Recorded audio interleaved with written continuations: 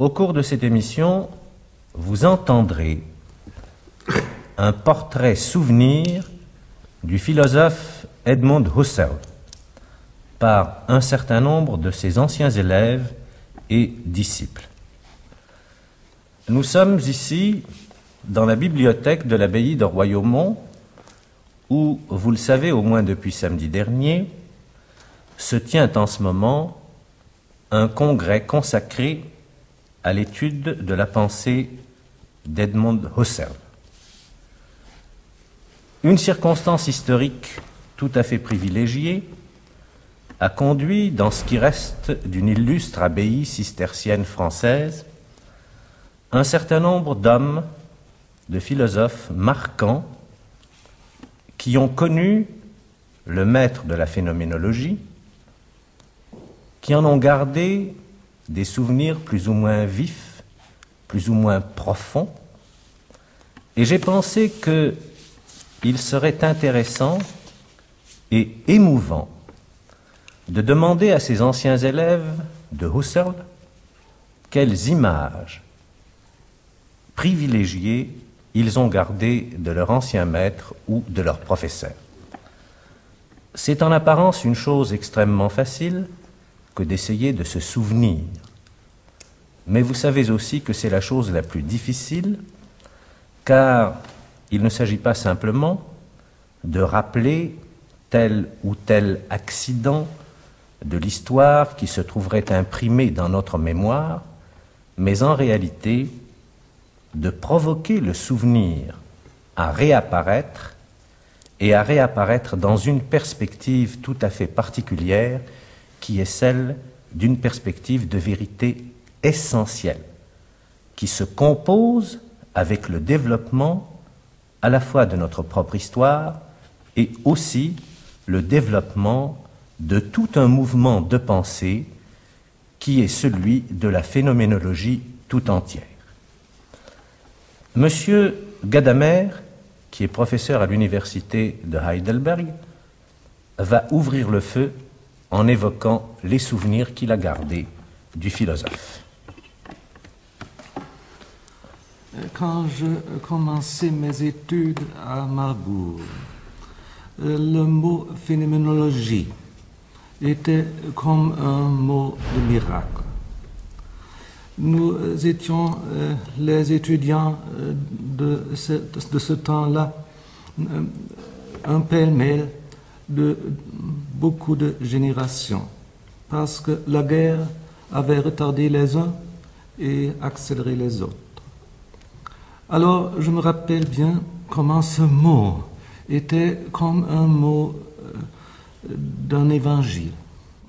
Lorsque je suis arrivé à Fribourg et j'ai vu pour la première fois le maître, j'étais fortement étonné. J'avais pensé que le maître, l'auteur de la phénoménologie, doit être un homme révolutionnaire.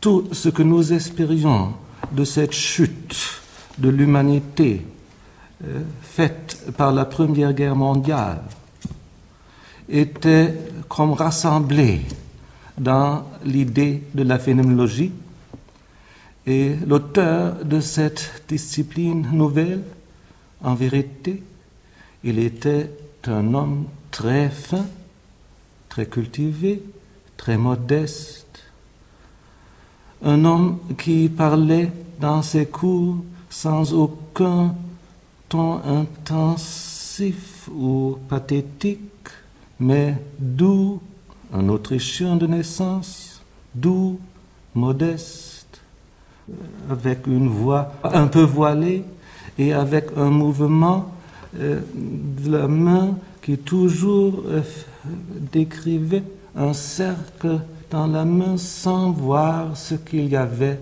autour de lui. Bientôt, j'ai compris que cette geste, cette attitude était l'attitude d'un révolutionnaire d'un très longue haleine. Un homme qui n'avait pas la nécessité de démontrer que c'était quelque chose de nouveau, ce qu'il y avait à dire. Un homme qui travaillait de jour en jour, et c'est pourquoi parlait toujours comme euh, si ça serait la continuation de son travail quotidien. Et nous avons tous compris par temps et temps que cette attitude était vraiment une nouveauté et une réforme de l'attitude philosophique du monde. Ainsi, euh, M. Gadamer a connu Husserl en 1923 à Fribourg. C'est pourquoi il a évoqué l'atmosphère dans laquelle il a vécu et consécutive à ce qu'il appelle la chute qui a suivi la Première Guerre mondiale. Mais nous avons ici parmi nous l'illustre philosophe des sciences Alexandre Coiré, l'auteur des études galiléennes, qui, lui, a connu Husserl bien avant M. Gadamer, en 1912, et qui veut bien nous dire quelques mots de son expérience de ce temps-là, et peut-être aussi sur la phénoménologie en général. J'ai connu euh, Husserl bien avant la Première Guerre mondiale, lorsque tout jeune encore, je suis allé à Göttingen faire des études de philosophie et de mathématiques. Pour bien comprendre l'impression que Husserl avait produit sur moi et sur beaucoup de jeunes gens de ma génération, il faut se remémorer l'atmosphère philosophique euh, de l'époque, dominée par le positivisme, par une psychologie sensualiste, par l'idéalisme néo-kantien. Doctrine qui aboutissait à enfermer l'esprit en lui-même et nous semblait le couper du monde. La phénoménologie, la nouvelle conception de l'esprit développée par Husserl, ce qu'il avait appelé l'esprit compris comme ouverture sur le monde, la doctrine de l'intentionnalité de la conscience, était pour nous une libération. On avait par là, on se sentait par là de nouveau en contact avec le monde, on avait reconquis l'objectivité, le monde des valeurs objectives, le monde s'enrichissait, aussi bien le monde de la réalité que le monde de la conscience. La conscience nous permettait d'entrer en contact avec les choses, et c'est ce que Husserl nous disait toujours, retour aux choses. Elle nous ouvrait non seulement le monde de la réalité sensible, le monde de la réalité quotidienne, non seulement le monde des valeurs, qui par là obtenait une objectivité, elle nous ouvrait aussi le monde des entités idéales, dans le sens de Platon, réalité mathématique, le monde des nombres, le monde des formes. Elle nous ouvrait, croyons-nous, l'accès à une philosophie qui pourrait nous expliquer la structure essentielle du monde.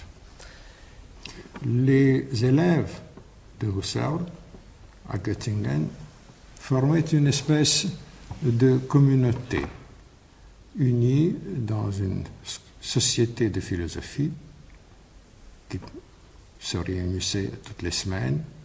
Et toutes les semaines aussi rendait visite au maître, au philosophe.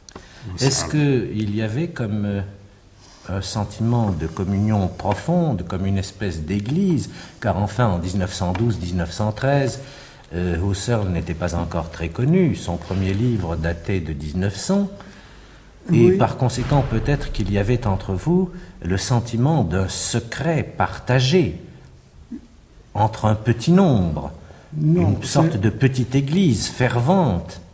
Fervente, oui. Église, non. Ce n'était pas un secret. C'était une grande découverte à laquelle nous participions, à laquelle nous voulions travailler. Mais évidemment, les membres de ce groupe se sentaient liés par une appartenance justement au groupe, au mouvement, et liés aussi le plus souvent par des relations euh, d'amitié personnelle. entre eux? Entre eux et d'une affection pour Husserl. Je me souviens, ce rite ou habitude, les samedis, on allait rejoindre On allait faire avec lui une promenade sur la montagne, prendre le thé et discuter euh, des problèmes philosophiques, les problèmes tenant à son cours ou tenant à des livres, des publications, des découvertes historiques ou autres que nous avions faites. J'ai dit que pour nous, c'était une libération et un retour à l'objectivisme et au réalisme. La première phase ou la première époque de la philosophie de Husserl était très différente de celle qui a prévalu par la suite et la plupart de ses premiers élèves ne l'ont pas suivi dans son évolution. Lorsque j'ai revu Husserl moi-même en 1923 à Fribourg, après la guerre, je me souviens des longues discussions que j'ai eues avec lui, ou, de longues, ou plutôt de longues leçons dans lesquelles Husserl essayait de m'expliquer la dernière phase de la phénoménologie, la tournure transcendantale de celle-ci, et je dois avouer en même temps mon incapacité de comprendre le maître et mon incapacité de le suivre.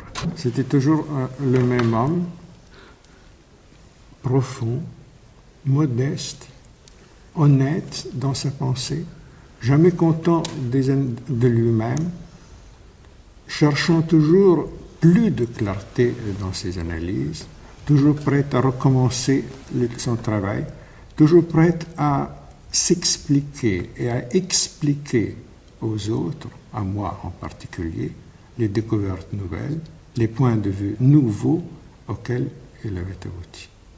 Et ça, c'était aussi pour nous une leçon, une leçon de travail et, dirais-je, une leçon de morale intellectuelle. N'être jamais content de la clarté obtenue, n'être jamais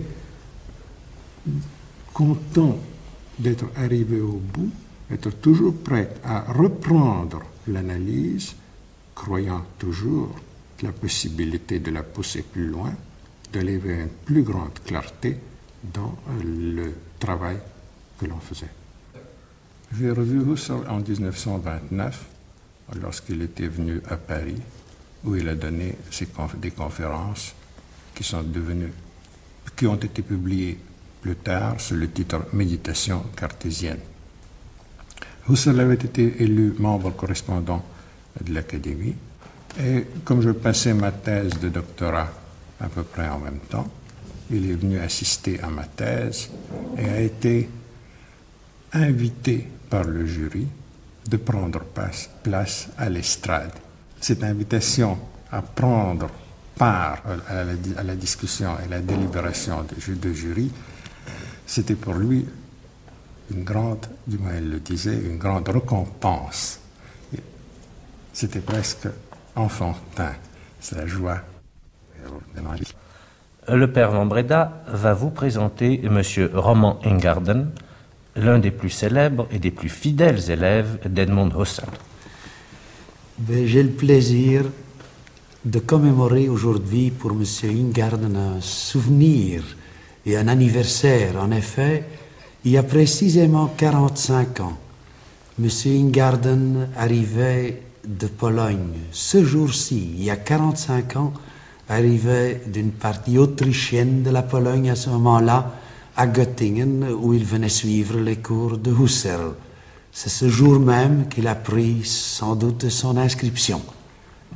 Depuis lors, M. Ingarden est devenu d'abord un disciple, Ensuite, un ami personnel qui était extrêmement cher à Husserl et à sa famille. Nous avons de M. Ingarden une correspondance très étendue entre Husserl et lui, que nous devons d'ailleurs aux archives Husserl à son obligeance. Et alors, M. Ingarden, quelles sont, je dirais, les impressions euh, qui vous sont restées, disons, de, l'arrivée même et des premiers cours? Alors je me souviens un cours, une conférence euh, pendant mai 1912. 1912. Oui. C'était une conférence sur le sens des choses. Et c'était une, euh, pour moi une euh, grande émotion que je pouvais écouter euh, les mots et sens.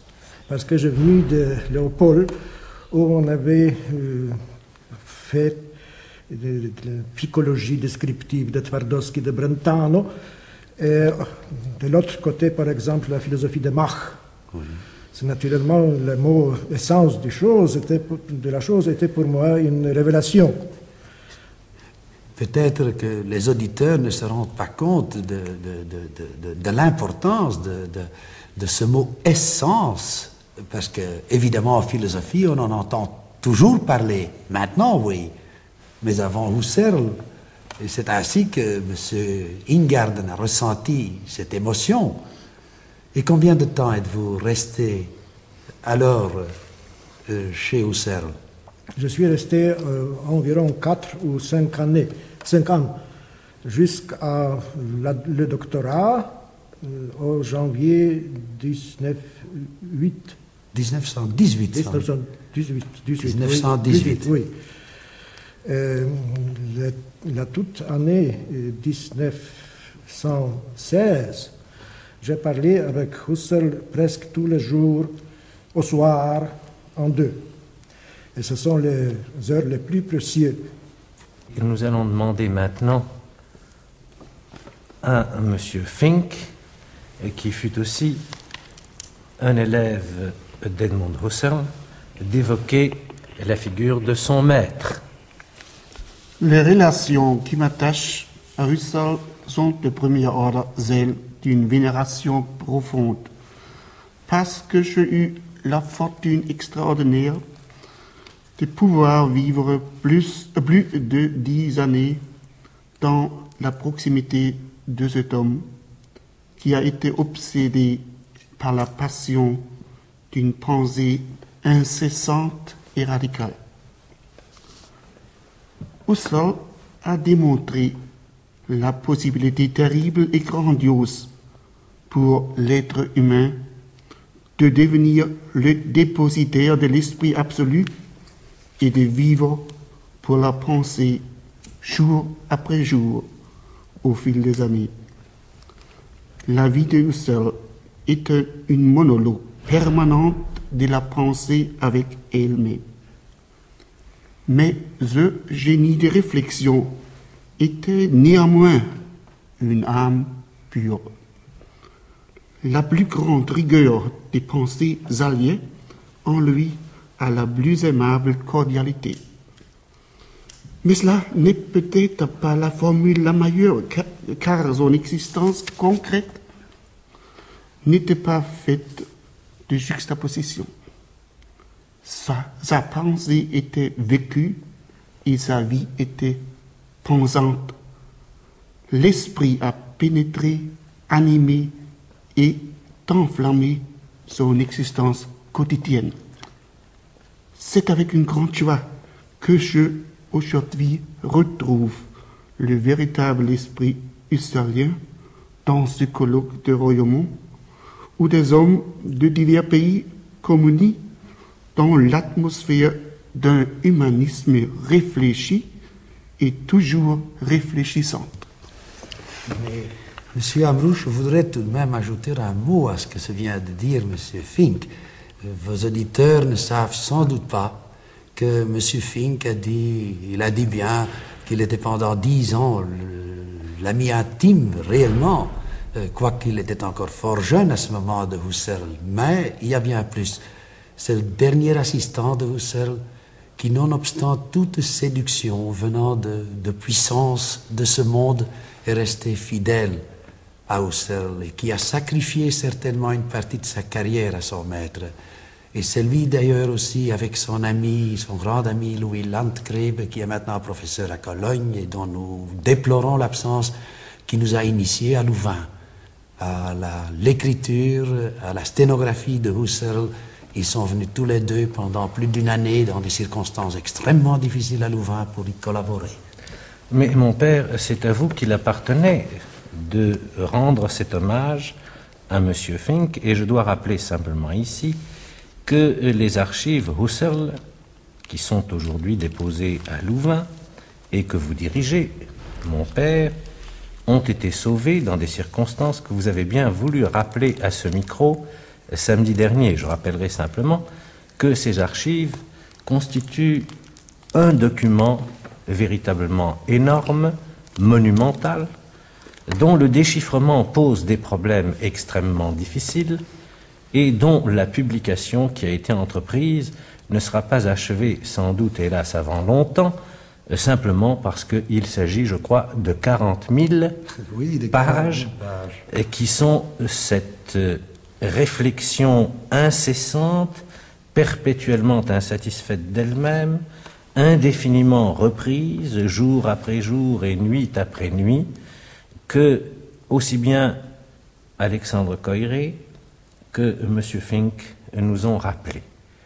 Je vais maintenant demander à M. Schutz, qui est à New York et qui, lui, a eu surtout l'expérience des dernières années de la vie et de la pensée de Husserl, de vouloir bien évoquer les souvenirs qu'il en a conservés. J'ai fait la connaissance de Husserl en 1932, ayant publié un livre en allemand qui s'occupe aussi de la philosophie de Husserl. Je lui ai envoyé ce, livre et il m'a écrit une lettre magnifique m'invitant de venir de le visiter à Fribourg. C'est ce que j'ai fait et dans les années 32 jusqu'à 37, j'ai fait régulièrement visite auprès de lui à Fribourg et euh, euh, je peux seulement dire que c'est une des plus euh, chéries expériences de ma vie. La première impression qu'on a reçue de Husserl, c'était son intégrité intellectuelle, que aussi M. Coiré a évoqué. Il était toujours le plus sévère critique de sa pensée et il a exigé ça de soi-même et aussi des autres philosophes. Si je peux évoquer deux souvenirs qui sont euh, spécialement chers à moi, c'est une fois une adresse que Husserl a délivrée à Prague aux jeunes étudiants. Le professeur de l'université allemande à Prague, Utitz, a invité Husserl à l'occasion des conférences qu'il a délivrées à cette université d'adresser la jeunesse. Husserl n'était pas du tout préparé. À ce temps, il était à l'âge de 75 ou je crois 76 années. Husserl a commencé à parler sur l'invitation du professeur Utitz sur la dignité de la philosophie. Et il a évoqué l'origine de la philosophie en Grèce dans le temps pré-socratique. Il a parlé sans note pendant 4-5 minutes, sans interruption, sans euh, modifiant une seule phrase, et tous les jeunes gens étaient émus. Je n'ai jamais écouté Husserl parler euh, dans cette façon. Mon deuxième souvenir se réfère à ma dernière visite chez Husserl, qui a eu lieu vers Noël 37. Husserl était déjà très malade. Je m'ai mis à la disposition de Madame Husserl si je peux faire quelque chose pour les malades. Et Madame Husserl m'a demandé ceci. Le médecin a prescrit des jus de fruits, jus d'orange pour les malades. Et il n'y avait pas une seule orange à- à Fribourg qui pourrait être achetée. Alors Madame Husserl m'a demandé d'organiser peut-être l'envoi des quelques oranges de Bâle, d'où je suis venu, à Fribourg. C'est ce que j'ai fait. Mais il y avait aussi, dans ce cas-là, des limitations. On pouvait seulement envoyer 5 kg le mois sous le régime allemand.